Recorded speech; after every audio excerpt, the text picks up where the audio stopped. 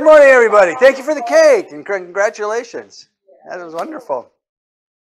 Um, today we're going to be in um, the, the two chapters of our book, or five and six.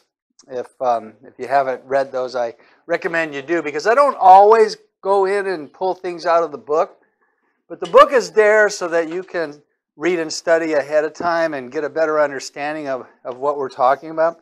It might even give you the answers to the questions I ask, which makes you look really smart on the camera when you know the answers. So that gives you a heads up. But today we're going to continue with what we spoke about last week, and that is Paul's thesis statement, or his this is statement for the book.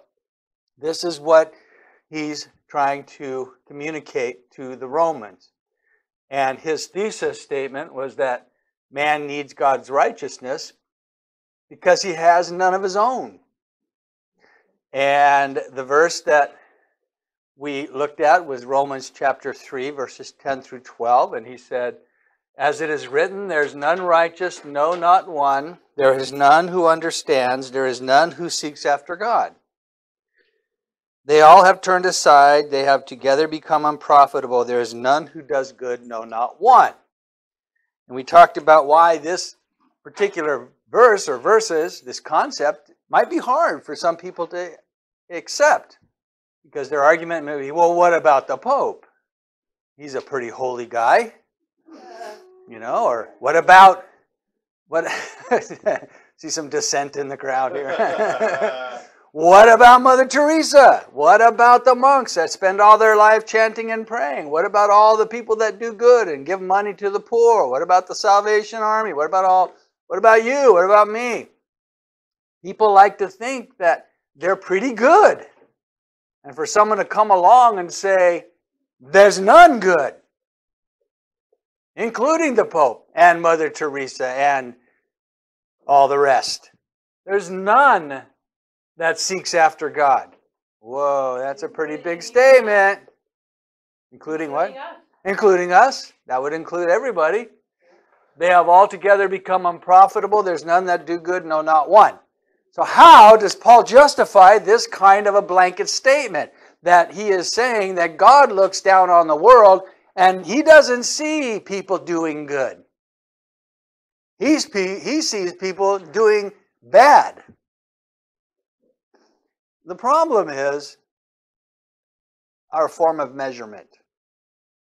Because when people say this person's good or that person is righteous, they're measuring against it other people, right? Themselves or other people they think are good. And it's always amazing to me that people will point fingers at other people as being bad, but most people give themselves a pretty high mark. Man, you ever notice that? When you say, hey, you know, you're going to go to heaven, you're going to stand before God, what are you going to say? I'll say I'm sorry. Sorry. I'm sorry. I blew it. I'm sorry. Well, most people would say, yeah, I'm pretty good. I mean, I don't kick my dog. I pay my taxes, usually. I'm fairly honest. Um, you know, I, you know. Yeah, that's what gets us in trouble. You know, but they're comparing it to other people. I, I like to tell the story of Dr. McGee, who was was a uh, mentor of mine on the radio. He had a program called uh, Through the Bible Radio, and I used to listen to him, still do regularly. He's gone since 1980s, but everything is still on the program is still going on the radio. But he used to tell a story called Jumping to Catalina. You may have heard me tell this story before, but if you haven't, it's a good story because off the coast of California, as you know, there's a beautiful island called Catalina Island. Anybody ever been there? Yeah, most of you, a lot of you have. It's beautiful. It's really cool because you go across the bay or across the ocean there, and it's almost like you're in a different country. I mean, it's it's like you're in Europe. The way it it's just beautiful out there on this island. But the way you get there is you have to leave a pier from a boat, or leave on a boat from a pier, and you go across the ocean and you get there. Well, we're going to play a game called Jumping to Catalina, where you don't take a boat. You're actually going to run down the pier and you're going to jump off the end of the pier and see how far you get. And so one person might run, run, run, jump, and get 12 feet off the end of the pier. Another person need might a higher pier. need a higher pier, just you know, longer pier. So another person might run, and they're going to run and jump, and they might make 16 feet off the pier. Oh, they're better than the first guy. And they might go, oh, I'm better than that guy. And Marvin, he's going to run, he jumps, he makes it. Any guess? Two feet off the pier. 20 feet off the pier. You're 20 feet off the pier. Hydroplane. It's like skipping rocks. You know, he might make it 20. So Marvin's doing better than everybody else. And the temptation might be, well, I'm, I'm a lot farther toward Catalina than you are. But did any of them make it to Catalina? Not a one. Catalina's way out there. So if our goal is just to be better than the guy next to us, many of us are doing okay.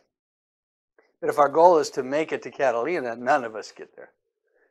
God's standards are like making it to Catalina. And the problem is, for us, when God looks down on the world, he doesn't see this person better than this person and better than this person. He sees how are they measuring up to my holiness and my righteousness. And Paul says, none of us measure up. And that's his thesis. He's going to give us some evidence. Okay, Paul, do you have an evidence to support this claim that there are none that do good, none righteous, none profitable? God looks down and sees us all corrupt and worthy of going to hell, really. All right, so let's see what Paul says. Well, first of all, Paul in the book of Romans says man is declared a sinner by historical evidence. So Paul says, look, here's the evidence for my thesis, and, and we're all going to be the judge in the end of whether or not he proves his, his thesis and gets his master's or doctorate in theology here. Paul says, man is declared a sinner by historical evidence. And where's that historical evidence found? It's found in the scriptures. And here's what he says For the wrath of God is revealed from heaven against all ungodliness and unrighteousness of men who suppress the truth in unrighteousness.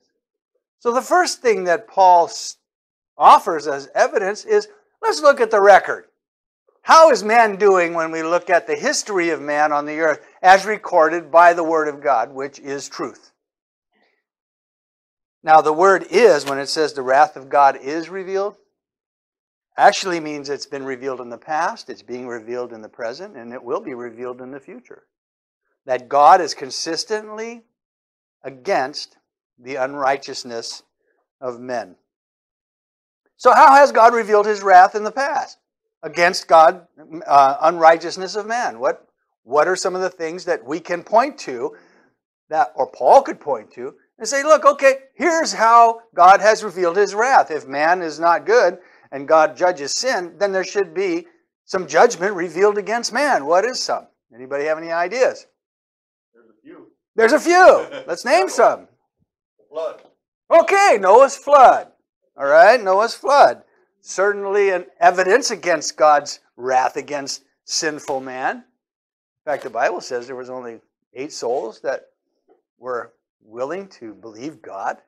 How many people do you think were on the earth at the time of the flood?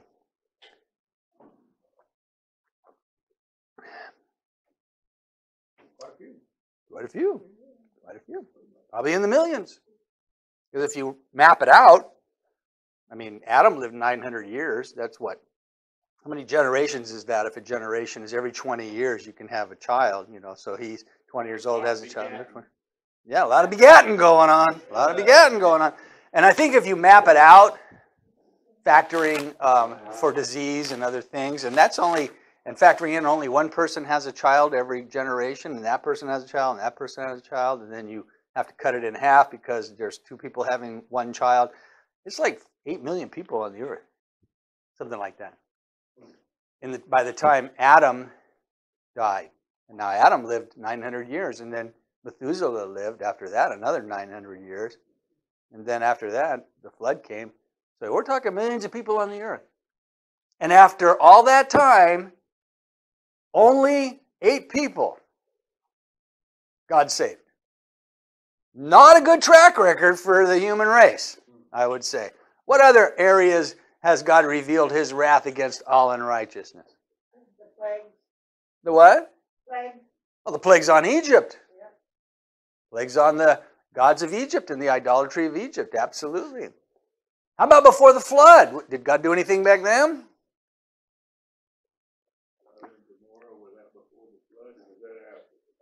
That was after. That was after the flood. What was what was the remark? Sodom and Gomorrah. Sodom, Sodom and Gomorrah. Fred says Sodom and Gomorrah. That was after the flood, but another revelation of God's wrath against unrighteousness. What happened to the first two people that were created?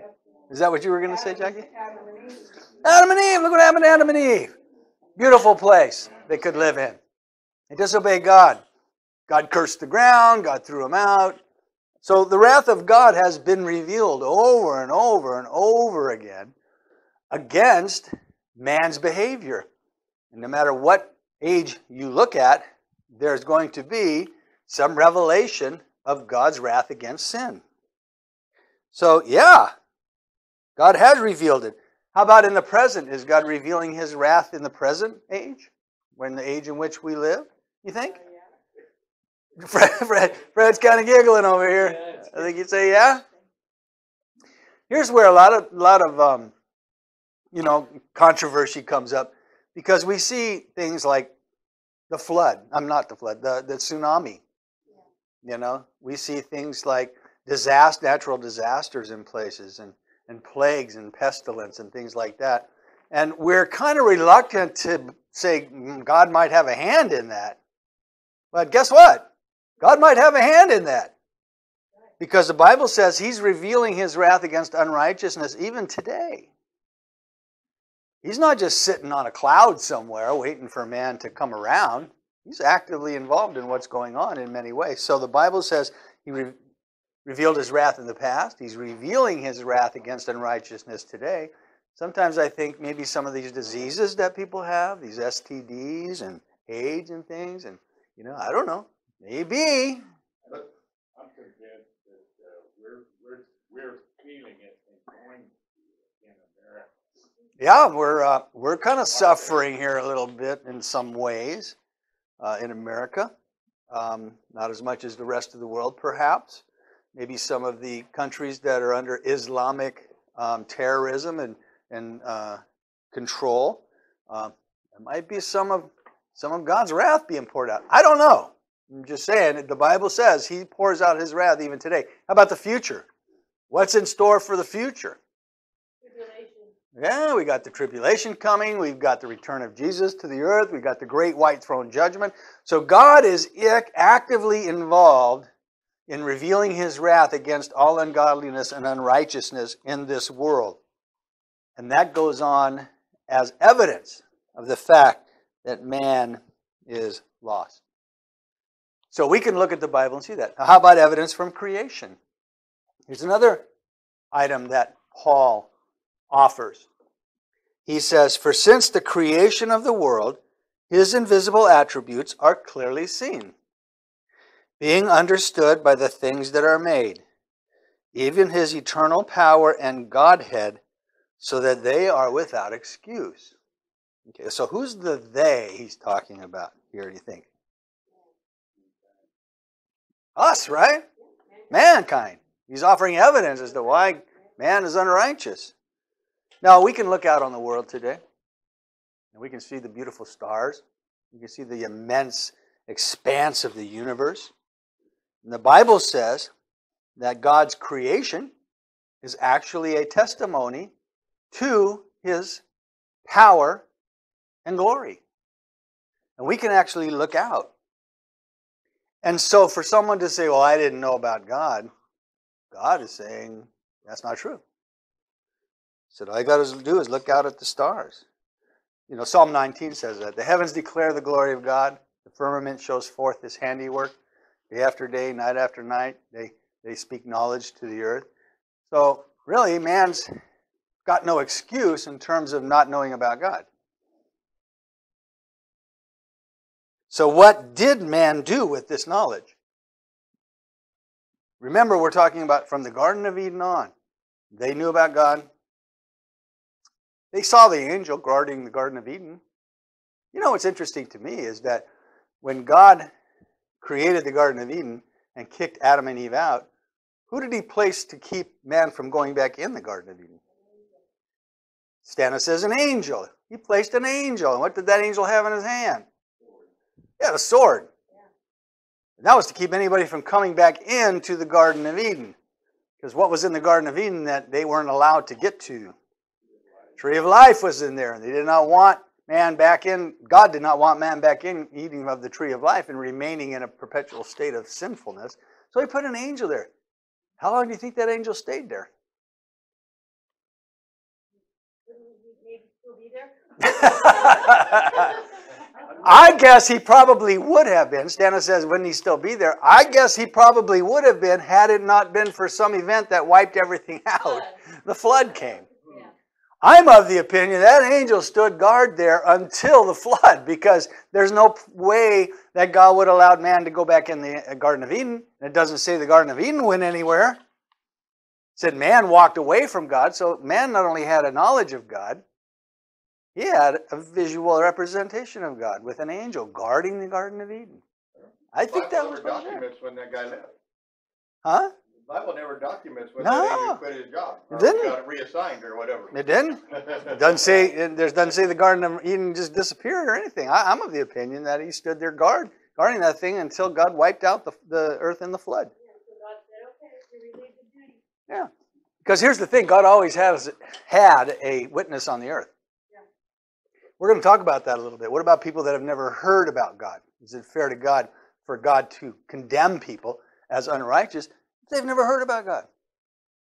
Truth is, they have. God's always had a witness on the earth. And it's interesting how missionaries go out and encounter some of these tribes that supposedly are in the deepest, darkest places of Africa or deepest, darkest jungles. Yeah, I don't know what's going on with it. Oh, I'm sorry. You were. That verse right there, Uh-huh. Psalm nine, or Romans one twenty. Right here? That's it. They're clearly seen.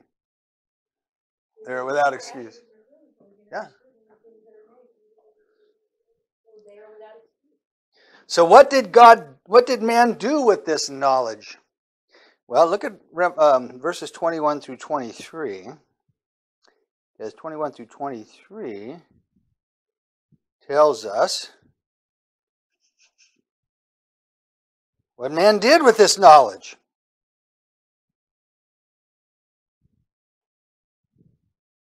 It says, because although they knew God, now this is interesting. It didn't say they knew about God. It said they knew God. This is the early record of man's existence on the earth, probably after the fall and before the flood on the earth. They knew God. God was active on the earth. The angel was there. They did not glorify him as God, nor were thankful, but became futile in their thoughts. Their foolish hearts were darkened. Professing to be wise, they became fools, changed the glory of the incorruptible God into an image like corruptible man, and birds, and four footed animals, and creepy things. What did man do with the knowledge of God that he had? He corrupted it. Made it science. Uh, he made it science. Came up with the came up with evolution. Or said God's a bug, God's a frog, God's a big disc in the sky, God's whatever you want it to be. God's whatever you want it to be. Instead of know, doing what they knew to be true, they turned from it and decided, nope. And that is the record we have. How about today? What's man doing with the, this knowledge of God? It hasn't gone away. We still have it. Same thing, corrupting. Same thing. Saying. Yeah, instead of worshiping a frog, we came from an amoeba. You know, we're going to worship the monkey, the, the chimpanzee, the half man, half ape transitional period, or we're going to worship science. Worship the cow. They worship cows in India.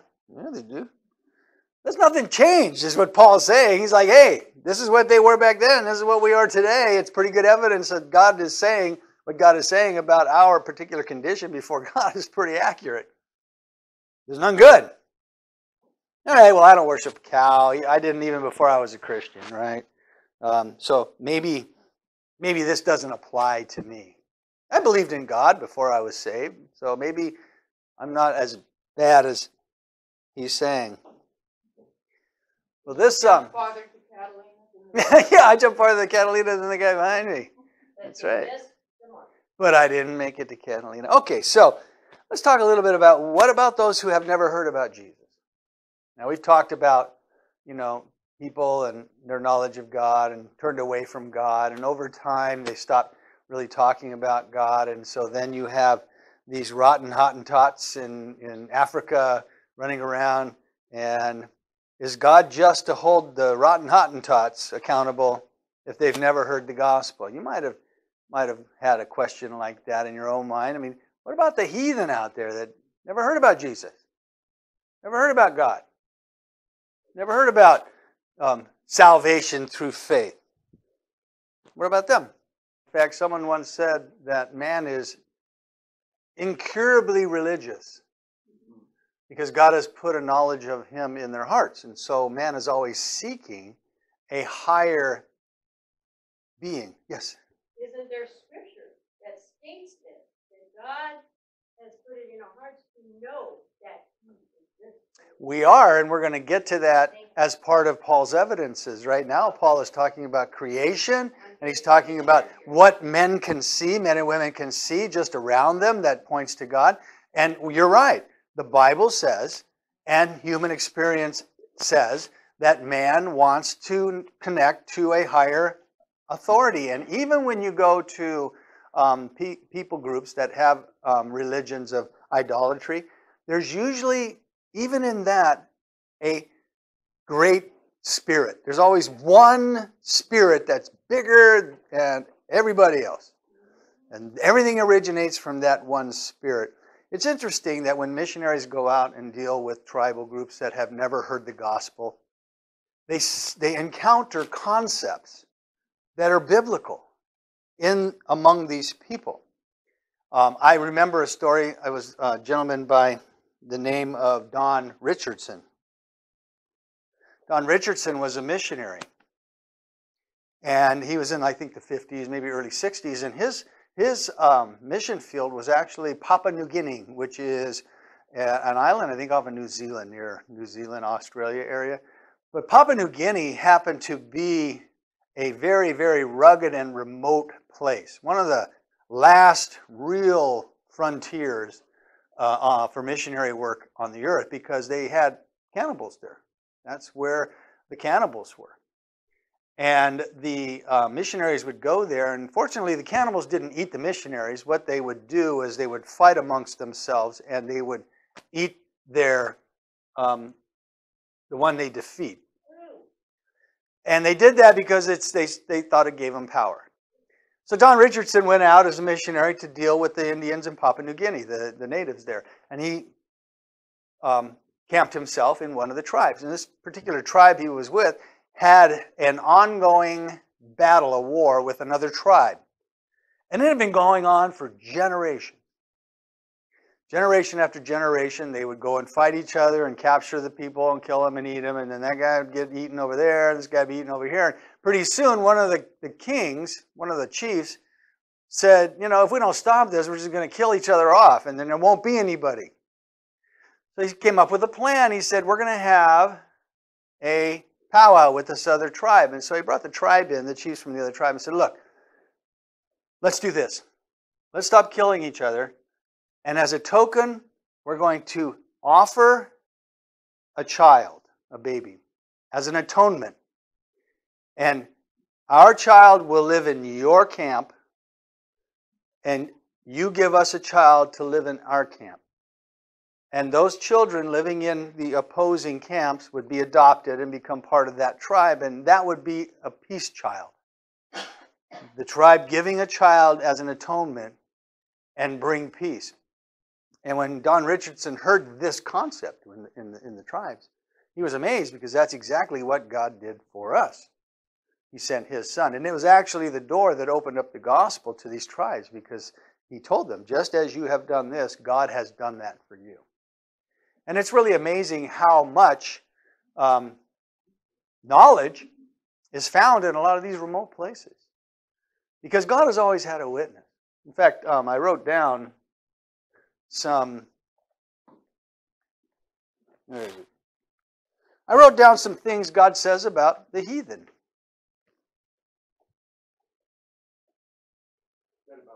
the heathen, the lost, you know, the people that have never heard the gospel. This is what God says. He says He instructs the heathen, He rebukes the heathen, He reigns over them, He judges them, He confounds their ways, He chastens them, He visits them, He teaches them. Psalm 98 1 says He makes known His salvation to the heathen, and He justifies them by faith. And so there's a lot that God is doing in creation, in the world. God's not sitting back and just letting things go their own way. Even though man is lost, he's still operating within the realm of the heathen. And so when Fred says, you know, they have it in their heart, you know, they want to know God.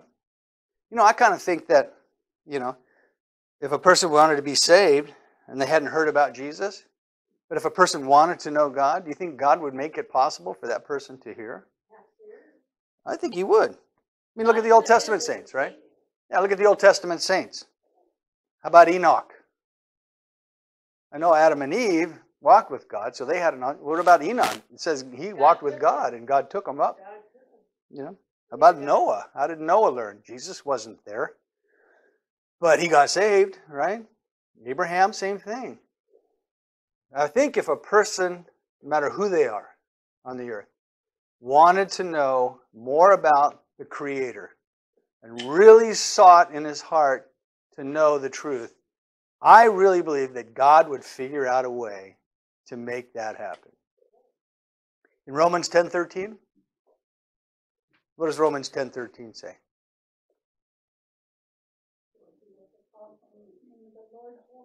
Whoever calls on the name of the Lord shall be saved. The person calls out to God and says, You know, I don't believe all this frog and snake stuff. I know there's something more than that up there. I think God will reveal himself to him. Galatians chapter 3 says the same thing. said he preached the gospel to Abraham.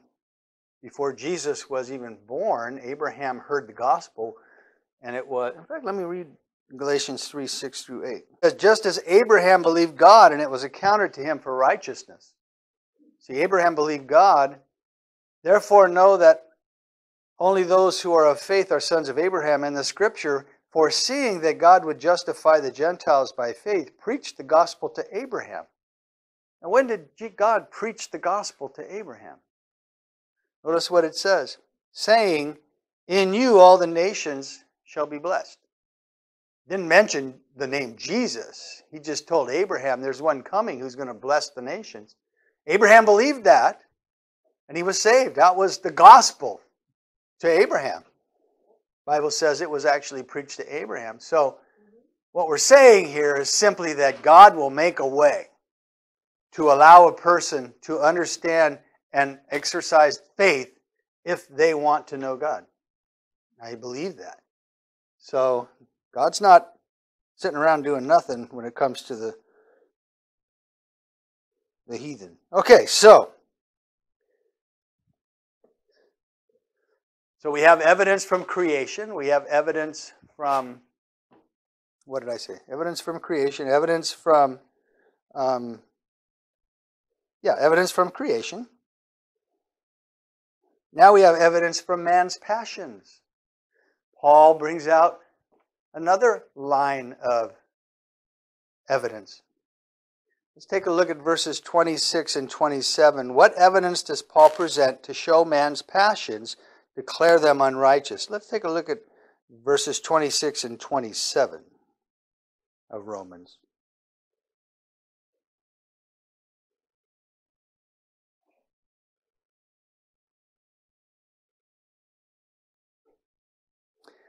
So from creation, they could know God, but they turned away from God, and this caused a result. And the result is for this reason, God gave them up to vile passions. For even their women exchanged the natural use for what is against nature.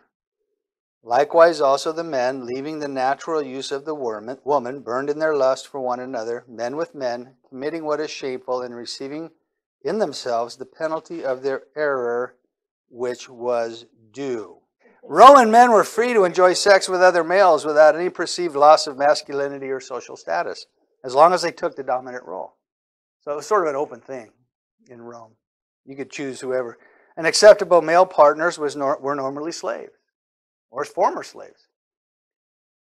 Prostitutes, entertainers whose lifestyle placed them in the nebulous social realm of infamia, um, excluded from normal protections according to a citizen, even if they were technically free. So, Roman slaves oftentimes ended up being the targets for this type of behavior. So, in Rome, in the church in Rome, they were probably very familiar with this and probably didn't appreciate it too much. And so Paul used this particular uh, example, I think, sort of to drive home the point. It would have been a very poignant point for many of these Roman slaves who are now Christians. And they could say a hearty amen to the unrighteousness of man. And so Paul says man's passions. We see it all around us every day. Well, how about evidence from man's moral behavior? Now, Paul goes on, offers some more evidence. In Romans chapter 1, verses 29 through 32, here's the evidence from man's moral behavior. Paul says, Look out at the world. Look out at the people you rub shoulders with. Look out at the headlines on the newspaper, the evening news. Look out at what you guard yourself from, how you protect yourself what you're protecting yourself from more, normally is other people's bad behavior covetousness, maliciousness, full of envy, murder, strife, deceit, evil mindedness.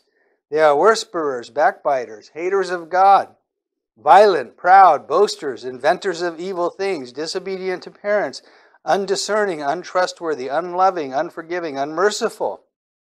Who, knowing the righteous judgment of God, that those who practice such things are deserving of death, not only do the same, but also approve of those who practice them. Not a nice list. But it could be the headlines on any day's newspaper. Any one of them. Even in spite of, verse thirty-two, first part of the sentence, although they know God's just sentence, that they die, they still do 'em. Still do them. It's we, Yeah. ignorant, evil people we are. Not even ignorant, but not so ignorant and still do it anyway. Yes, Absolutely. Does Paul have a point? yes, Yeah, he has a point. we are all gone like Jesus on the way. Yeah. So let's take a look at some of these words. First of all, shameful human behavior. We're just going to read some of the guides on page 57 and 58. Let's just read some of this here.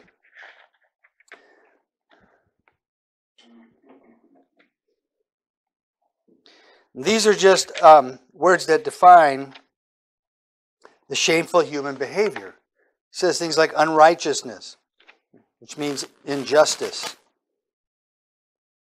wickedness, depravity, iniquity, evil purposes and designs, covetousness, sometimes translated by the word greed, maliciousness, a disposition to injury and revenge, gossip, desire to do harm to other people, full of envy, byproduct of greed, deceit, word that means fish bait, and ultimately meant to mean to lure, ensnare, beguile, or to deceive. Evil mindedness, bad character, depravity of heart and mind, haters of God. Are there haters of God out there today? Yeah, there are. Gee, it's getting worse too. Violent. That's the one thing that it really cracks me up. Not crack me up, but I was, I was, I was getting my hair cut down in Algodones, and they always have this one show on, and it's a Mexican show about. It's called Passion, I think. It, it, it's a, um, soap opera Soap operas. in, in Spanish. Yeah, in Spanish, and And so. you're, you're enjoying watching it. No, no, I wasn't enjoying watching it. I was interested in watching it because I'm getting my hair cut and I can't understand what they're saying on the show. But I was watching, just watching things. And there would be like a show, and while I'm there, you know, maybe there'd be two shows, one after another. I'd catch the end of one and the start of another one. And any, anyway, I've been there a few times, and there've been different shows on as I've been watching it. But every show, they're either fighting or kissing. They're either just doing all kinds of lustful stuff or there's they're fighting. And, and that's the whole show. And I'm thinking, "W- is that all there is to these shows? That's what people watch. hasn't changed much. You know, I'm like, I'm like watching this stuff, and I'm going like, this is nuts. Like, but yeah, but yeah, when we go to the movies or we watch TV shows or whatever, I mean, what are we watching? Usually not Hallmark. It's probably some, uh, you know, I like watching forensic files. So I'm watching people murdering people, and I'm, you know, I'm not enjoying the murder. I'm enjoying them getting caught. But I'm fascinated by how they do that. But all our shows, a lot of times we watch shows, we watch soap operas. What are they talking about? What are they doing in this show? It's all this stuff. But anyway, that's what the world is, right? That's what we're looking at. Violent, proud, undiscerning, unloving, untrustworthy, unmerciful. Yeah. And then shameful human conduct, not just their their character, but the, the results of their their character. Murder, disobedient to parents. Seems to me, man is all of mankind. He's not at all. Since creation. Really haven't changed. No, we haven't. In fact, take a look at 2 Timothy 3 1. Same old, same old. No, look at look at 2 Timothy 3 1.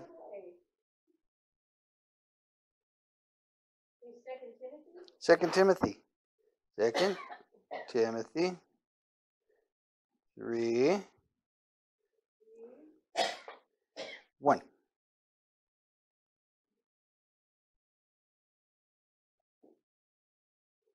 He says, But know this, that in the last days perilous times will come. For men will be lovers of themselves, lovers of money, boasters, proud, blasphemers, disobedient to parents, unthankful, unholy, unloving, unforgiving. Sla- Wait a minute, we just read all that in Romans chapter 1. yes. Vern, Satan doesn't have to invent new sin. He gets a new generation all the time. he does. He just gets the same thing comes out, right? That's right. Slanderers without self control, brutal, despisers of good, traitors, headstrong, haughty, lovers of pleasure, pleasure rather than lovers of God, having a form of godliness but denying its power. It's the same old, same old, same story. What does it say? Uh, same verse, new song, or same song, second verse, or something. Yeah, same thing. Same thing. You know, same thing. So, really, nothing's changed. You know, we, man looking, man, Paul says all you got to do is look at, look at the history of the world. Look at what's happened since creation. Man's judgment against God, man's disobedience to God, man's turning away from God. And that's all of us. That's not just bad people, and that's not just savage people. That's every one of us, right? So I think so far Paul's proven his point. He hasn't gotten to the religious people yet. These are all just the people that are, that are out there. But what about the righteous, the religious people? What about the people that go to church and carry a big Bible and They're worse. they're worse? Status says they're worse. Okay, so from what we've learned, what would you say to someone that believes God is unfair for judging people who never heard about the gospel?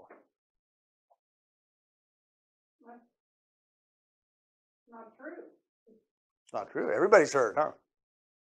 Bible says they're without excuse. Bible says that if someone wanted to know about God, God would let them know. especially in this country. Especially in this country, especially in this uh, time in the world with the internet and Education. Education. What it is, yeah, worldwide, as well as yeah. I mean, I mean, they were saying um, back in the turn of the century, 1900s, let's say, 1900s knowledge doubled every 30 years in the world as people found out new discoveries and things in the 1900s. It might have been 50, every every uh, 50 years knowledge doubles. Guess what it is today? A couple minutes. the amount of information that's the, and discoveries and, and things that that weren't known about before. It's the information and, and information that's available to people is like doubling every 10 minutes. So really, there's not someone who hasn't heard. You know, everybody has a knowledge of God at some point, at some level. And the Bible says that they've turned away from it or whatever. A lot of them have turned away from whatever level it is. And that, that's, that's, that's sad. But how does God redeem people who haven't heard about Jesus? The same as he redeemed everybody else. I mean, we all are without excuse. Mm-hmm. Yeah, so it's by faith, By grace. by grace through faith, and it's mm-hmm. usually to the knowledge that they have. If a person wants to know God, God says, I'll get that knowledge to him. I'll get that information to him. He's not hiding. No, he's not hiding at all. Yeah, but there's some dangers to that too. So, so far, Paul's talked about evidence from creation. He's talked about evidence from man's passion. Uh, next time, we're going to talk about people that have religion. What about religious people? Hmm. Are they lost too? Doesn't their religion help? Uh, we're going to find out. So we'll stop there. We started a little early, so.